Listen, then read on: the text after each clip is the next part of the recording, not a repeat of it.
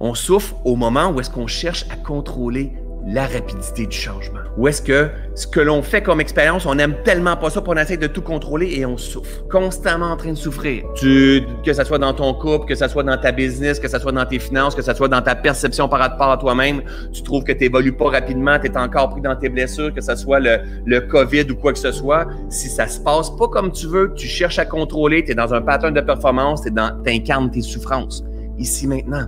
Mais est-ce que tu es vraiment ça? Est-ce que véritablement tu es tes souffrances? T'es ton rejet? T'es ta trahison? Est-ce que véritablement t'es ta maladie? Véritablement, est-ce que t'es es, ton burn-out?